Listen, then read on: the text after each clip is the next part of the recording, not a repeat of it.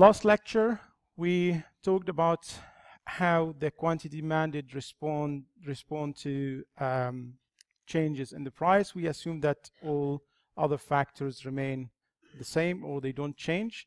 So we know the direction of the relationship. So when the price of a good increases, then the quantity demand decreases. But we didn't know by how much. So how much um, the quantity demand will decrease when the uh, price will increase. So if the price increased.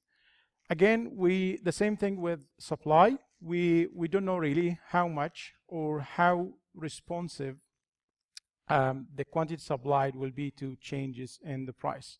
So what we know so far is when price increases, quantity demand decreases, and when price increases for a, for a, for a product, the quantity supply will increase as well. So there is negative relationship between quantity demand and price, and positive relationship between quantity supplied and price. So what we didn't know, what we didn't know so far, how much, how much this decrease or how responsive the um, quantity demand will be to change in the price. The same thing with quantity supplied. So what we will learn today is how much or how responsive uh, quantity demand to uh, change in the price. The same thing with quantity supply by looking at elasticity. So elasticity is just a measure of responsiveness. So how response, how how the uh, how much the quantity will respond to change in the price. So we will learn how to calculate this um, elasticity for price. So we learn about the price elasticity of demand. We'll do the same for income elasticity for, and for uh, cross elasticity. We will understand how to interpret these and how to um, how to calculate them. Also, we'll do this. We'll do the same with um, uh, supply. So let's start. So the idea here uh, with demand, let's start with demand, the price elasticity of demand. So again, what we said last lecture, we said when the price increases, just remember we assume that all other factors remain the same, so they're not going to change. We assume when the price, uh, we know when the price increases, the quantity demand will decrease. So today we'll see how responsive, how the this response will happen when the quantity when the price change. So how the quantity demand will respond. So that's what we call um, elasticity. And with elasticity, it's um, a unit free measure, which means we're just going to have a number and we need to learn how to interpret that number, how to explain that number.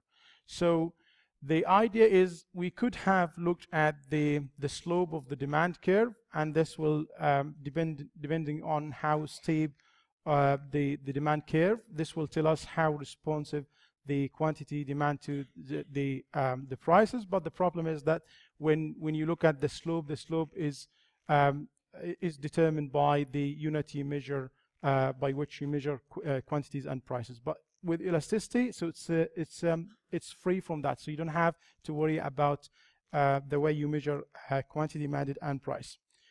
So we start with price elasticity of demand. So remember, when we look at price elasticity of demand, so we're looking at the relationship between the price and the quantity demanded. How we uh, define this, so it's the responsiveness. So how the quantity demand will respond to change in the price. And to calculate this, we simply calculate the percent change in quantity demanded divided by the percent change in price. Okay? So the percent change in quantity demanded divided by the percent change in price. So what is the percent change in quantity demanded? So it's basically is a change in demand in quantity demanded divided by um, the average uh, quantity demanded. Let me show an example. And I'll explain why we look at the average. So this is the demand curve for uh, pizza. And let's say this is the uh, initial price. It's uh, at 20.50. Uh, at this price, the quantity demanded is 9. Okay, so we have got 9 pizzas.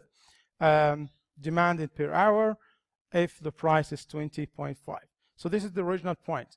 So what if the price changed to uh, 19.5? then the quantity demand will increase to 11 pizzas.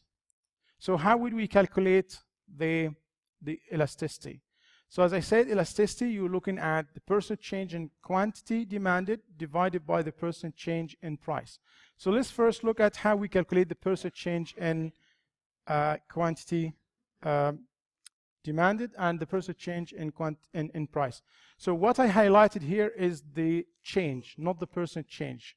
So the first one is the, the price changed by $1. So there's uh, $1 um, um, that's that's how much the, the the, the pizza became cheaper. Now it's just one dollar less. So now it is 19.5 rather than 20.5. So that's the change. So what we want to do, we want to look at the percent change. So the same thing with the quantity demanded. So the quantity demanded was nine and then became 11. So we have two more pizzas uh, ordered or demanded at the new price. So that's the change in the quantity demand. Then all what we need to do now is to find the average price and the average quantity demand. How we calculate the average? So you sum these two divided by two. So if, for example, if I want to know the average price, so it's 20.5 plus 19.5 divided by 2. So this is the two prices. You divide by 2, you get the uh, the average price. And the average price here is 20. So this will give you 20. The same thing, so this is the this is the average price. The same thing you can do with the uh, quantity demand. So what we have here, so 9 plus 11 divided by 2, this will give you 10. So how we calculate the percent change then? So the percent change in quantity demand means the change in the quantity demand, which is 2, divided by the average price, which is 10. So 2 divided by 10. So that's the percent change in quantity demand. Then the same with the, the price. So we have, this is uh, the change in the price, which, which is $1 divided by the average price, which is 20. So how we calculate elasticity? We divide the percent change in quantity demanded by the percent change in the price. So here we go. So this is the percent change in quantity demanded. So it's the change in quantity divided by the average quantity demanded. So this is 2 divided by 10. Here, that's 2, the change in uh, quantity demanded, divided by 10. 10 here is the average quantity demanded. This will give us 20%. So that's the percent change in quantity demanded. Okay? The percent change in uh, price so it's, it's the same way. So it's the change in the price divided by the average price. So the change in the price here is $1 because now the pizza was 20.5, now became 19.5, so the difference is $1. So this is the change in the price divided by the average price. And again, the average is just you sum these two together, 20 plus you add these divided by 2, so 20 0.5 plus 19.5 divided by 2 will give you 20. So 20 here is the average price. So what we need to do here is just to divide this, the change in the price, which is $1, divided by 20. This will give you 5%. So the percent change um, in, um, in the price is 5%. So what is elasticity or how to calculate elasticity again? So elasticity is the percent change in quantity demanded divided by the percent change in and price. So that is that's the, the formula here. So the percent change in quantity demanded divided by the percent change in price. This means 20% divided by 5%. This will give us 4. Remember, I told you this is a unit-free measure, which means it doesn't depend on any measure. So just uh, just a number. And we're looking at that number. And by looking at this number, we should be able to tell how the uh, how responsive the quantity demand is to changes in the price. So before I go to interpret or to explain what this uh, number means, so let's just go back to the, the main idea. So the main idea, we're trying to see how much or how responsive the quantity demand will be to changes in the price. And the measure that help us to know this is, is called elasticity. And the advantage uh, behind using this measure, elasticity, is, is unit free. So which means it doesn't, it doesn't depend on the way we measure the, the, the price or the quantity demanded. So whatever the way you measure uh, these two, at the end you will get you should get the same uh, number for elasticity for the same good. So in that case, or in the case we have now, we're looking at the price elasticity of demand. So there are two things to keep in mind. First thing is the, the sign, and the second thing is the value or the magnitude of this number. So the sign is meaningless. It doesn't mean anything with, um, with the case of the price elasticity of demand. Why I'm saying this now? Because when we look at income elasticity and cross elasticity, it will be meaningful and it will mean something and we need to understand what it means. So in, in all cases with the um, price elasticity of demand, the sign should be negative, should be minus. And we ignore it and you didn't even see it on this slide, okay? So why it will be always negative? Because there is a negative relationship between the price and quantity demanded. We know this from last lecture. So we know they, uh, they move in opposite directions. So if price increase, quantity demanded decrease. If the price decrease, quantity demand will increase. So they moving in opposite directions. And that's why the, the sign will be always negative, and that's why we ignore it. So it's not meaningful. It doesn't say anything. So we know what we know that it will be always negative. So now we're looking at the magnitude or the absolute value. So the absolute value, just ignoring the sign for a second, we're looking at just this number 4. Before I just explain what 4 means, so let's see the, the different cases we would expect when we calculate the price elasticity of demand. So we've got five cases, two of which are very extreme and rare cases. And let me show you um, these cases. Sorry, where did already looked at that. So that's the first case, perfectly inelastic demand. And in this case, you will see the demand curve is vertical. Remember, this is an extreme case, and it's very rare case, and it's, it's, it's, uh, um, it's when the quantity demand does not respond to changes in the price. How, how would we see this in the graph? So you'll see that now, if the price is 6, the quantity demand is the same. If the price increased to 12, the, the quantity demand is, gonna, is going to be the same. So that's perfectly inelastic means it does not respond at all to changes in the price. Okay? Um, so that's one extreme case. Uh, the other extreme, oh, before going to the other extreme, let's look at the, um, the other four cases. And in this case, by the way, the elasticity will be zero. So there is no response. So when you calculate elasticity, you should uh, uh, have zero. So if you have zero, that means this is a perfectly inelastic uh, demand.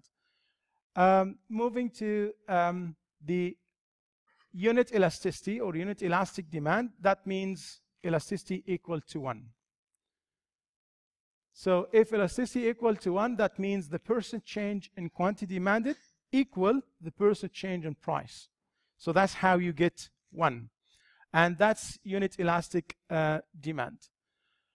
This is the second case. So the third case, when you have the elasticity is remember, we're not looking at the, the sign, we're looking at the, the value, the, the magnitude, the absolute value of this number. So if you have it more than one, which is the case we have now, we got four. So 4 in the in the case of beads, that we have uh, the elasticity equal four, so that means greater than one. So if it's greater than one, that means we have elastic uh, uh, demand. If it is less than one, we have inelastic demand. So if it is less than one, then we have inelastic demand. If it is greater than one, as I said, it is uh, elastic demand. So now there is no response at all, so that's perfectly inelastic. And elasticity will be zero. Unit elastic demand, if the percent change in quantity demanded equal the percent change in price, and then elasticity would be one or the other two cases here, which is elastic and inelastic demand. So elastic means it's greater than one, elasticity is greater than one, or if it, if it is elastic, then elasticity will be less than one, and less than one means it's between it's going to be between it's going to be between zero and one.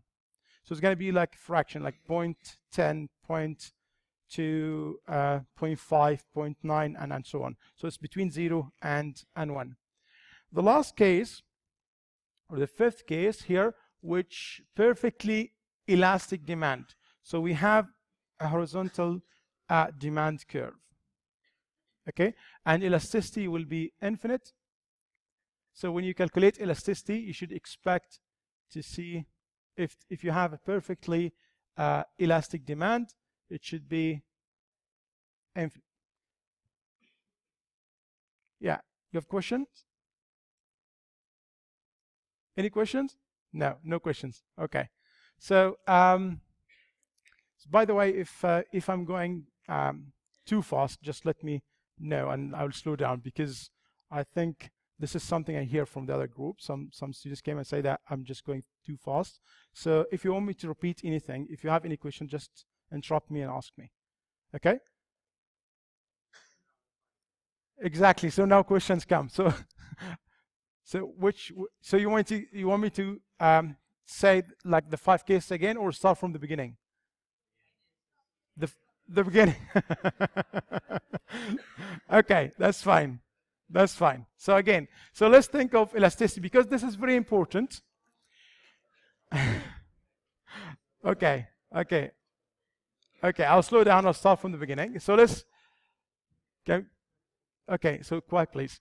So just think of elasticity. Remember what we covered last lecture. So we know when the price increases, you you buy less as, as a customer or as a buyer, you will buy less. We assume that other factors that affect demand will remain the same. So if the price increases, then you will buy less. So there's negative relationship, so they're moving in opposite direction. But the law of demand doesn't tell us how responsive the quantity demanded will be to changes in the price. So what we looking at here is elasticity, and this is the measure that tell us how responsive the quantity demand will be to changes in the price. So what you need to understand or what you need to know here is how to calculate elasticity and how to interpret this number, the one that the number you get when you calculate elasticity. As I said, we look we look at price elasticity of demand. That's the first type of elasticity we look at. But there will be also income elasticity, cross elasticity, and supply. But we, if you understand this one, if you understand price elasticity of demand, so if anything else or anything uh, uh, will come later now and today in this lecture will be very easy to follow. So the idea here is if you know how to calculate elasticity, you should know how to calculate the percentage change. Percentage change is the change over the average. Okay, so the change is very, very simple. So if the price in our example was 2.5, 20.5, then it went down to 19.5. So how much is the change? Just one pound or one dollar. Okay, it's one dollar. So that's the change in the price. But I don't want the change in the price. I want the percentage change. So I want to divide this by something else. So we divide this by the average price. So if you've done statistics or um, I don't know from math, from mathematics, you, you should know that the average is that if you sum these two together divided by 2. So what are the prices we have? We have 20.5 and 19.5. If you add this together, divide by 2, because we have two prices, then this will give you the average of 20. So all what we have now, we have the change, which you said $1, divided by the average, which is 20. Okay, so it's 1 divided by 20. That's, if you understand how to calculate the percentage change in price, then it's the same way we calculate the percentage change in quantity. Okay, so the quantity, so how we calculate elasticity, then it's the percent change in quantity demanded divided by the percent change in uh, in price. And the what we would expect in this case, as I said, we ignore the sign because it's always negative but we look at the magnitude or the absolute value of this number. So we've got five cases. In our example, we have the elasticity equal 4. So that means applying what we just said now about elasticity, that means uh, pizza is elastic. Okay, so it's an elastic demand, which means, what, what does it mean elastic? So when you change the price, when price change, the quantity demand will respond by more. So let's say if the price changed by 1%, remember we use the percentage change to calculate elasticity. So if the price change or if the price increased by 1%, then the quantity demand will decrease by more than 1%. Okay, so that's that's what it means, an elastic demand. Okay, so if if this product, if this good, which is pizza in our example, is elastic, that means if the price changed by 1%, the quantity demand will change by more than 1%. Okay, so that's one case, which is elastic demand. That's the, that's the one we looked at in the example. But as I said, we have five different cases for elasticity.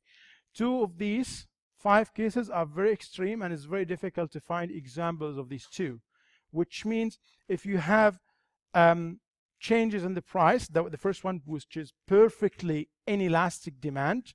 So just imagine, try to try to find um, any product or a good or service that the quantity demand will not change regardless of the changes, any changes in the price. So whatever happened to the price, the quantity demand will be the same.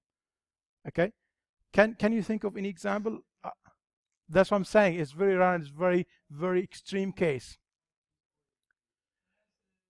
I can think of one example. Yes, tell me. Say. Raise your voice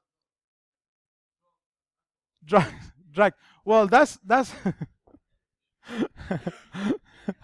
okay so let's let's say medicine if if if a doctor prescribed like let's say you take um, whatever like two two two tablets or anything so you will you will buy the same. So it doesn't matter if the price change or not. So anyway so as i said it's very difficult. I mean you might be right but again it's yeah.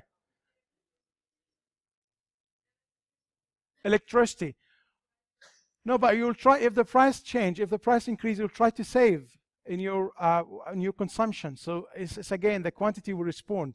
But in, in perfectly inelastic, that's just remember, this is a very extreme and rare uh, case. So it's very difficult to find an example. That's what I'm saying. So in that case, just imagine the price changed from, let's say, one pound, two pound, 10 pound, 20 pounds, so whatever happened to the price, you will buy the same quantity. So it's, it's very, very difficult to find an example. I'll think of more examples. I can pass these to you, but as I said, this is a very, very extreme case. So on the other side, which is, uh, in this case, we will have um, elasticity equal, so when you calculate elasticity, will be zero. So when you calculate the percentage change um, in quantity demand in this vertical uh, uh, demand curve, it will be zero because there's no change. Okay, so there's, there's no change in the quantity demand. That's why if you divide zero by anything, which is the in our case is the percent change in price, it would be zero. So that means there is no response at all. So the quantity demanded does not respond to changes in the price. And that's the meaning of elasticity. That's what it means. So we're trying to summarize all cases we could have or we could see in real life. So we could look at, as I said, five cases so one is perfectly inelastic. That's very rare one, and it's very difficult to find examples as we tried. And the one when we have unit elastic demand, which means elasticity equal one. So that means the percent change in quantity demanded equal the percent change in price, which means if the price if the price change by 1%, the quantity demanded will change by 1%. Okay? So it's like one-to-one change. But if we have an elastic demand, that means the, the, the, the product is, or the quantity demand respond to the changes in prices, um, and the response will be much more than the change in the price. So if, and, and that's the case when you have elasticity greater than one. So in our case, four, okay? The pizza, the elasticity is 4. That's an elastic good, which means if the price changed by 1%, the quantity demanded will change by more than 1%. Okay? In this case, 4. So you will have it more than just 1%. So that is an elastic good. So inelastic good, inelastic good means the elasticity will be between 0 and 1. So it's not going to be 0. Zero, we, we understand that now if it is zero, that means it's perfectly inelastic good. But if it is between zero and one, this is just inelastic uh, demand or inelastic good. Okay, and what it means is if the price increases or if the price change by 1%, the quantity demand will change by less than 1%. Okay. That is inelastic. Yes, exactly. Okay.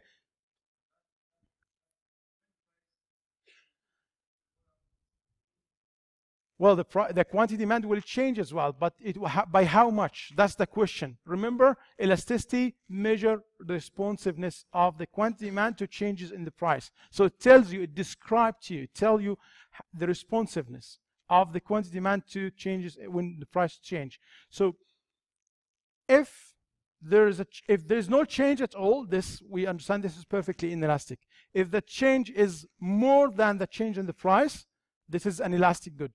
If the change is less than the change in the price, then this is inelastic good. Okay? And if it is exactly equal, so that is unit elastic demand.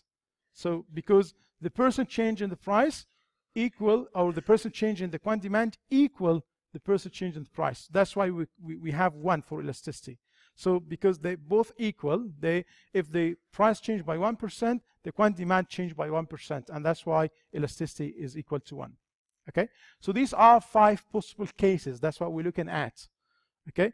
And based on this, you could you should be able to uh, uh, explain any value you will have for elasticity. So in our case, as I said, we got 4 for pizza, elasticity equal 4. That means pizza is an elastic good. And again, what does it mean? It means that if the price changed by 1%, the quantity demand will change by more than 1%. That's it. Okay? So, uh, so the quantity demand is, is, is very responsive. It's, it's, it's very responsive to the changes in the price. So, okay, so let me let me think of something important to you because what we, we we're going to look at next, that's what we should look at is why or what factors determine this elasticity? What factors explain to us why some in some products or for some uh, goods and services, quantity demand will be very responsive to change in the price, and for other products it will not. Yeah.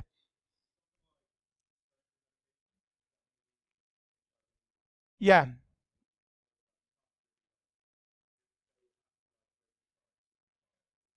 Yeah, yeah. That, that, that's, that, that could be an example. But again, one of the things that we, just to make it easy to understand why would you, um, how would you respond to change in the price, think of something um, important to you, whatever this thing is, okay? Whatever this product is. So in general, let's say food is something important. So if the price change, you may respond, you may try to save on uh, uh, food, but again, you're still buying food, but you're not, so your response is not going to be much more than the change in the price. Okay? So if, let's say, luxury goods, if we're talking about uh, a very nice holiday some somewhere in the summer. So the price of the, the flight ticket change, you might change your mind. You say, well, I don't really need to go there. I can go somewhere else. So again, um, that's why I was saying now we need to look at, which is what the factors that determine elasticity. So one of them now we talked about now, which is the uh, substitutes. So the closeness of substitutes, which means you remember from last time what we mean by substitute goods. So we have um, Pepsi and Coca-Cola. They are substitutes because you can they can replace each other. So I mean, for myself, I don't mind to have Pepsi or Coca-Cola, yeah? I don't know about yourself, so you could, uh, I mean, you may be very keen to have Pepsi um, and you don't prefer Coca-Cola, but for myself, for a soft drink, they both are the same. So if I go any place and they say, well, I ask for Pepsi and they say we have Coca-Cola, I say, I really don't mind. So they are very close substitutes. That's for me. So in that case, would you expect my demand on this product will be um, on Pepsi, for example, would be elastic or inelastic? Would be elastic. Why? Because I will respond by to change in the price. So if if if the uh, Pepsi, uh, the price of Pepsi change, uh, well, I can't really have Coca-Cola. I can have I can have anything else. So I'm not really keen in, in that. So what about complements? Do you remember complements from last time? Complements. These are two goods you use together. So I just it's need to be charged. Sorry, it's not working. Can you hear me now? Okay, that's great. So we don't need it. So uh, complements, that means two goods you, you use together, like tea and sugar. So, I mean, for you, you could say, well, I don't actually like sugar with my tea. So it's fine. That's fair enough. It's not complements for you. But for me, tea and sugar complements because I have sugar with my tea. Okay? Uh, you could think of um, uh, uh tea and, and milk. I mean, for Egyptians like me, we don't usually have, uh, we just have black, uh, black tea. So we don't really put uh, we don't add milk to the to tea. But for you, it's saying you think you may think, oh well, I like a milk with tea, so they are they are complements. Okay, so just think of these these different products. So if you have very close substitutes, so we'd expect demand to be very elastic. And if you don't have these substitutes, then you would expect demand to be inelastic. So again, to make it uh, more simpler, think, think of uh, necessary goods like food. So generally, we would expect, so these all the, sorry. So generally, we would expect food, housing to be inelastic because, again, even if the price change, even if you respond to this, um, the quantity demand respond to the, the change in the price, still uh, it's not gonna respond as much. But with luxury goods like exotic uh, vacations, again, we would expect these to be more, more elastic goods. Okay? Is this clear? Any questions? So that's one, one thing to explain the factors that affect um, uh, elasticity. One more thing, which is the uh, proportion of income spent on the good. Just let's think of um, if I ask you um, how much is um, how much you pay for for salt if you want to if you want to buy salt? Would you remember? Does it take much of your budget? Nothing at all yeah? So that's why the demand on, on this product will be inelastic because even if the price change you didn't even you might even not notice that there's a price change okay so again, this is very important. So the greater uh, the proportion of income uh, you spend on a good, that means we expect it to be more elastic. But if it is like something like salt, something that you hardly remember uh, how much you you pay for for salt last time when you went shopping, again because it doesn't consume much, it doesn't take up much of your uh, your your budget um, or your income, then you don't really. Uh, so it's not really elastic, it is inelastic good. Okay? Um, one more factor here, which is the time elapsed since price change. So time here is very important. Because when you have more time, that means when you have longer time after the price change, you have enough time to adjust your plans. Then your your response will be more uh, more elastic. So the more time you have, then the more uh, elastic we would expect the demand to be. Okay, so again, it's very important now to understand what is elasticity. It's just a responsiveness. It's a measure of the responsiveness. In our case now, we're looking at price elasticity of demand. So we're looking at the relationship between price and quantity demanded. So basically, it's the responsiveness of the quantity demanded to changes in the price. Because when we move now to talk about income elasticity, so we're looking at income and quantity demanded. But for now, if you understand the, what elasticity means in general, it's a responsiveness. It's a measure of responsiveness. So it depends what you're looking at. If you're looking at price uh, uh, elasticity uh, uh of demand, then we're looking at how responsive the quantity demand will be to changes in the price. Okay, then we looked at how to calculate this. It's very important because that's the percentage change in quantity demanded divided by the percentage change in price. We learned how to calculate the percentage change. So if you if you're able to calculate this for quantity, then you you it's the same way for price. So it's it's it's the change divided by the average. So the change in quantity divided by the average quantity is the change in price divided by the average price. Then you divide the percent change in price over the percent change uh, in quantity demand, then you get the elasticity. Now it comes, it's very important to understand how to interpret this, how to explain this, okay? So to explain uh, uh, to explain this, as I said, with price elasticity, it's very important to know that the sign is, is going to be always negative, and that's why we, why we ignore it. Uh, but it will be meaningful with other types of elasticity. So it's very important to understand this. But with the magnitude, with the value of this number, we have five cases, and we looked at these cases, and we understand now what they mean. So one, one or two more things before we move to income elasticity is the elasticity along a linear demand curve. So the demand curve you see now, um, at the midpoint, elasticity equal 1. So at the midpoint, so here exactly that's the point, elasticity equal 1. Above this price, so the, uh, the price here at this midpoint is 12.5. Okay, it's 12.50. So above this price, the demand will be elastic. Below this price, demand will be inelastic. Okay, so it's, it's, it's going to be different where you are depending on where you are on the demand curve. So if you're on the top part of the demand curve above the midpoint, demand will be elastic. If you below that, demand would be inelastic. The exact point in the midpoint here at the midpoint, elasticity will be uh, equal uh, to 1. So these are different examples. You could try this uh, yourself at home and see when you calculate elasticity uh, how much elasticity will be or whether it's going to be elastic or, or inelastic. So the, the second point we want to, uh, to look at when we look at price elasticity, the relationship between price elasticity and total revenue. If you are a producer, if you are a seller, and it is very important for you to know whether demand in your the demand in your product is elastic or inelastic. Why? Because this affects the total revenue.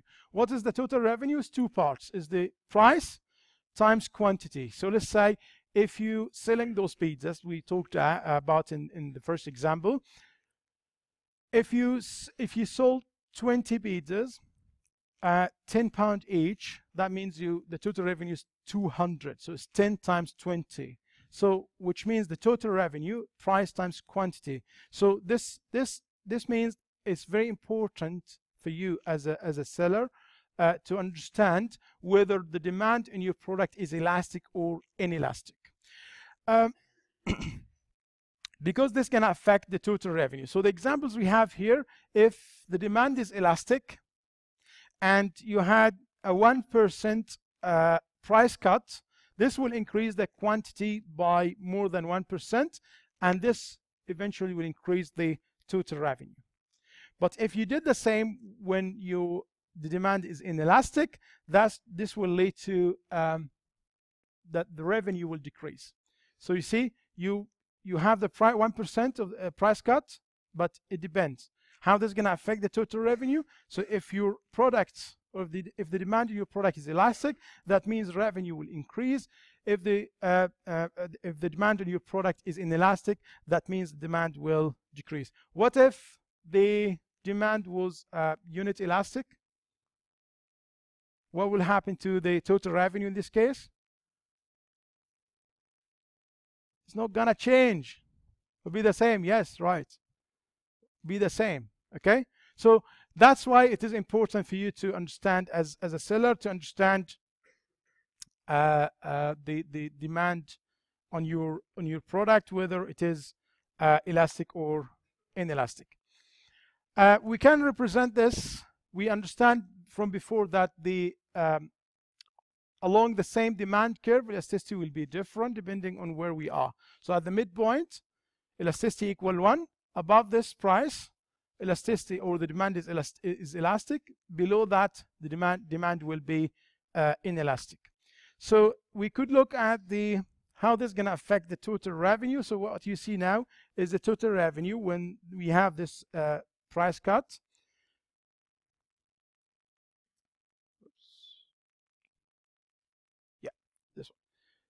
Because this has all three cases. So here, this part from this point to this point, this is when the um, elasticity, or this is on the midpoint on the demand curve. So when you decrease here, when you're moving from this, the top point is like $25, well, as you move uh, down here on the on the demand curve, the total revenue increase until you reach that point, which is when the price equal uh, 1250, then the total revenue will reach maximum. And then when you go down here, the uh, bottom part of the uh, the demand curve, the revenue will decrease. That is summarized in this in this graph. So you'll see this is when this is the top part of the demand curve. So while you're decreasing price, the total revenue is increasing, and then it comes to maximum point.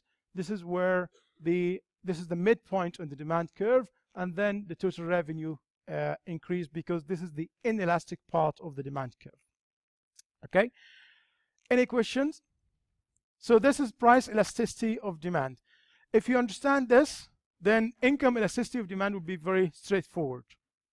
So if you understand how we can how we um, what the elasticity is, how uh, we calculate elasticity, and then how we interpret elasticity is very straightforward. So with income elasticity, then again think of the two variables we're looking at here. So we're looking at how the quantity demanded respond to income in this case, to changes in income. So how would we calculate this? So we calculate it in the same way. So it's the percentage change in quantity demanded divided by the percentage change in income. Okay? So it's the same way. So if you know how to calculate the percentage change, then you could easily calculate the uh, income uh, elasticity. So how would we interpret the, the results or the elasticity in this case? We have three cases or basically two cases. Remember, we said the sign now is meaningful. It wasn't meaningful with price elasticity. It's all going to be always negative. We ignore it. We don't even uh, report it. We don't even write it. Okay. But with income, the sign is very important. So if we have positive uh, sign uh, for income elasticity, that means when income increases, quantity demand increases. And as, I, as we said last time, this is a normal good. Okay. So most goods you would think of, they are normal because when your income increases, you buy more from them, so your demand increases as well. So these, so if the sign of the income elasticity is positive, then we have a normal good. If it is negative, we have an inferior good. We talked about this last time. So if your income increases, your quant the quantity demanded will decrease, and this is for certain type of, of, of goods, and we call them inferior goods. So if you have a normal good, we're looking at the magnitude now, not just not the sign. So the magnitude now, so we know the sign is positive. If it is positive, it's normal. So if you have it, if, if you have the um, the absolute value is more than um, more than one, if it is greater than one, or if it is less than one. So if it is greater than one, so we have income elastic good. If we have it less than one, so it's income inelastic uh, good. So again, so basically we focus in two things now: the sign so if it is positive, we have normal good. If it is negative, we have an inferior good. But with the, if it is positive, it could be elastic or inelastic. So elastic when it is greater than one, inelastic if it is uh, less, less than one. So that's very straightforward. With cross elasticity, we're looking at two, um, two goods in this case. We're looking at, let's say, um, Pepsi, Coca-Cola, and Coca-Cola, or tea and sugar and whatever. So we're looking at how quantity demand will respond to changes in the price of another good, not the same good.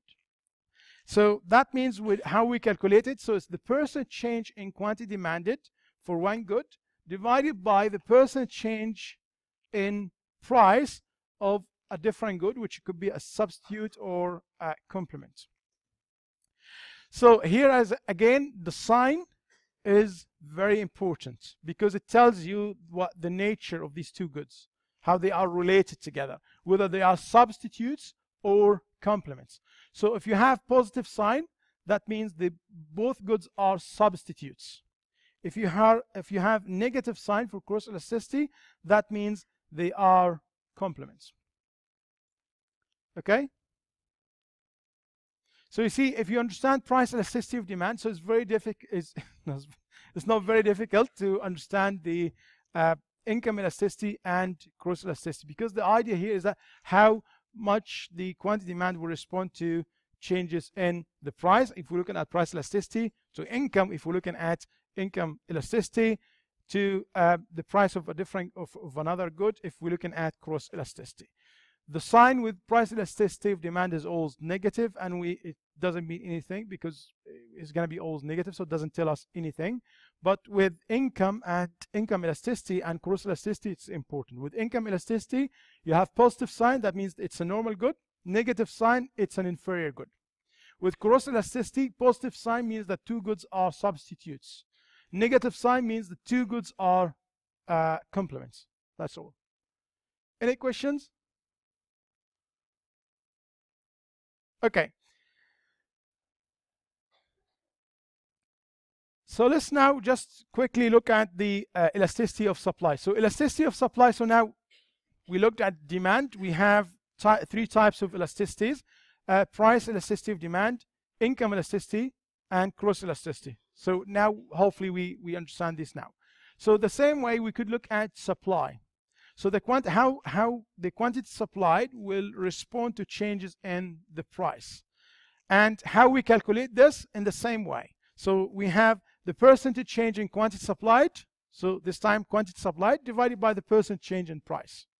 Okay, that's why I said it's very, very important to understand the first one, price elasticity of demand. So if you understand this one, anything else is easy to uh, to follow.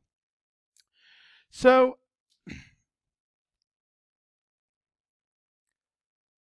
let me show you the three cases. We have three cases where this one is perfectly elastic. We have uh, this horizontal uh, supply curve.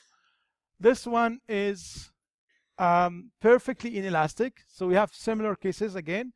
So these, when the elasticity equals zero, we have a vertical supply curve. And the other two cases in the middle, uh, these are, or the other two curves here, supply um, curve, this one and this one, A and B, they are unit uh, elastic, and so uh, the um, elasticity of supply will be will be equal to one. And the, the common thing between these two curves is that both they go through the origin point, so this point. So it doesn't matter uh, the slope, so the slope is not important. As long as they go through this point, then these are um, uh, unit elasticity uh, of supply. Okay, so we have uh, the elasticity of supply equal equal to one in this case. This one is uh, infinite. So we have the elasticity of supply equal infinite. So these are different cases again. So how you would you interpret the, the results? The, the last thing we, um, we will look at is the factors that influence uh, elasticity of supply. Okay, we've got here the resource substitution possibilities. So it's the same way we thought of the closeness of substitutes uh, with, with price elasticity of demand, we could look at the same here. So if you have different resources, and these resources could be allocated between different, different products, if it is easy to switch from using these resources in product, let's say A, to product uh, B, then it is, is going to be elastic. Supply going to be elastic because you can make decisions very quickly, you can change plans and so on. Okay, so Again, the time frame for supply decision is very important because right after the price change, you already had your uh, production process already started or in, in plan or everything is planned. So it's very difficult to, to change or it's very difficult as a supplier or as a seller to respond to changes in the price. But as the time goes, then it's more flexible now. You could you could make some some changes. That's why you'll see momentary supply is perfectly inelastic. So the moment after the price change, so the machines are already working, so you can't really stop them, you can't really do anything. So you can't respond immediately to the change of the price as a supplier. Okay, but in the short run, maybe it will be more elastic because you can adjust your plans, you can respond to the changes in the price. In the very long run, then it is most elastic because now actually you can change everything. Okay? Any questions?